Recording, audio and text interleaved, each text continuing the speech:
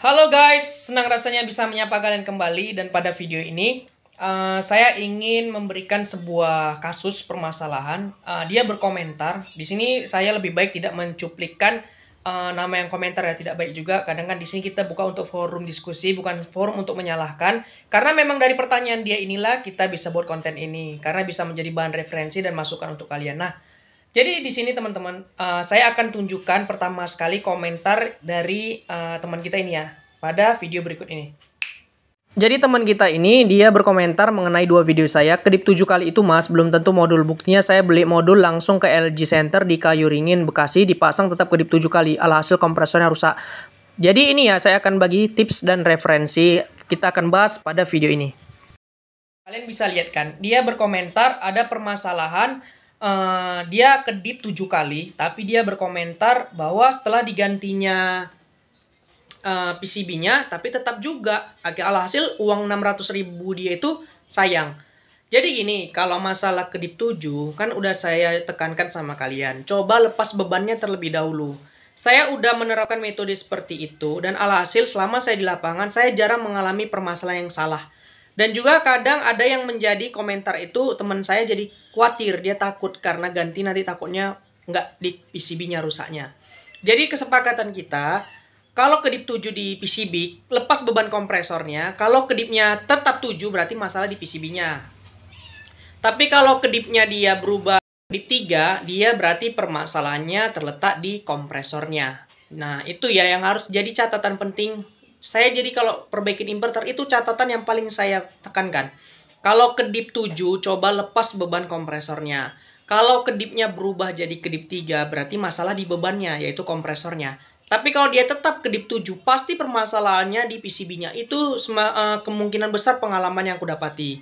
Kalau misalnya pernah juga, ternyata setelah aku lepas beban, kedip juga 7, tetapi dua permasalahannya biasa kena tegangan tinggi yang tidak stabil atau kena uh, tegangan petir ya. Jadi rusak di bagian PCB dan kompresornya. Nah, di sini saya akan kasih tips kalau untuk mengukur kompresor yang bagus, dia harus ketiga tahanannya itu usahakan sama. Tapi kalau ada perbedaan, biasanya kompresornya sudah pasti rusak.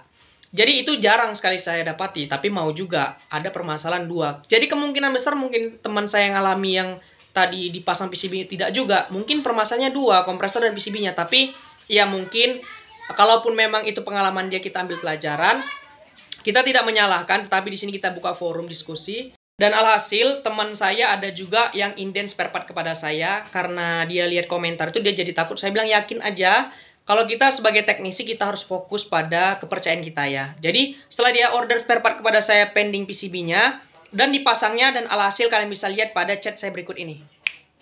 Nah, di sini kalian bisa lihat dia berkomentar, ini dia yang saya takutkan karena saya posting komentar dari teman kita tadi.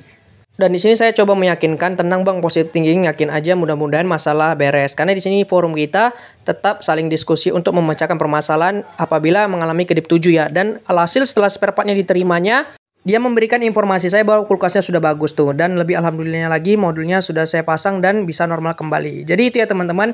Di sini intinya kita saling support, saling uh, memberikan edukasi dan bimbingan. Nah, kalian lihat kan, terakhirnya dia sangat senang karena berhasil, permasalahannya tuntas, kedip tujuhnya beres. Jadi, kita tidak menyalahkan kakak itu, kita ambil pelajaran dari kronologi dia, diusahakan kita ke depannya lebih teliti dan lebih hati-hati lagi. Tapi saya kasih edukasi seputaran pengalaman saya kerja, ingat, lepas bebannya. Kalau tetap kedipnya sama, masalah di PCB-nya. Tapi kalau kedipnya berbeda, jadi kedip 3, berarti permasalahan di kompresornya. Kurang lebihnya saya minta maaf di sini tidak forum untuk menyalahkan. Di sini kita saling berbagi edukasi dan bimbingan apabila ada teman-teman yang masih bingung dalam perbaikan kulkas ataupun AC inverter. Semoga video ini bisa menjadi referensi dan masukan untuk kalian. Saya harapkan kalian support terus channel saya dengan like, comment, dan subscribe. Sampai jumpa di video saya selanjutnya. Dadah!